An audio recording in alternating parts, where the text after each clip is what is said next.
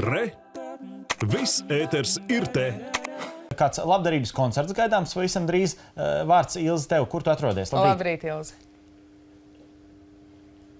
Labrīt, jā, jau rīt Vērmanas dārza estrādē labdarības koncerts. Vairāk par šo te koncertu varēs pastāstīt Jānis Marcinkevičs. Labrīt, Deju kolektīva apvienības liesmu vadītājs.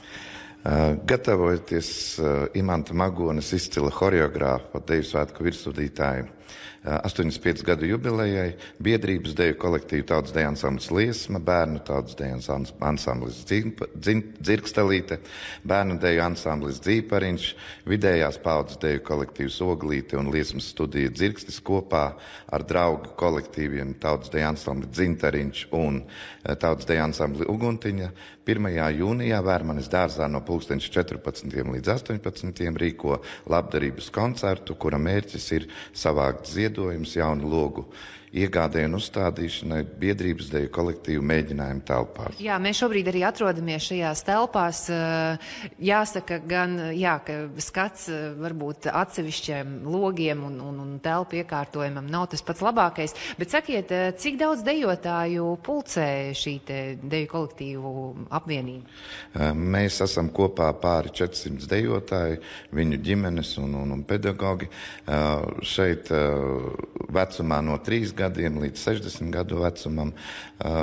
Gribam, protams, par to pateikties Rīgas domai par finansiālu atbalstu gan šī koncerta rīkošanai, gan arī par iespēju Rīgas domas finansēšanas konkursā atlīdzību amatīri mākslas kolektīvu vadītājiem speciālistiem, jo šis mums palīdz izdzīvot.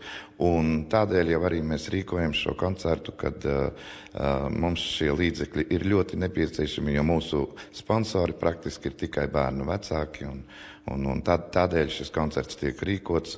Un, protams, mēs šai koncertā dejosim no visas sirds, un, lai mums visiem ir mīlestības, dejot prieka un veiksmes piesātināts koncerts.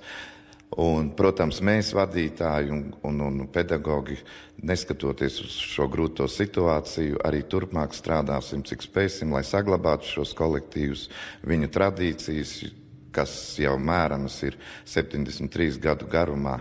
Protams, mēs īpaši būsim priecīgi par bijušajiem dejotājiem, eh, kas atnāks uz šo koncertu. Un, eh, Vienmēr mēs atcerēsimies mūsu spēka vārdus šajos brīžos, kad mums kaut kas liels ir jāizdara ar liesmu sirdī un dejām. Paldies liels! Tātad visi rīt laipni aicināti Vērmanas dārzā uz labdarības koncertu.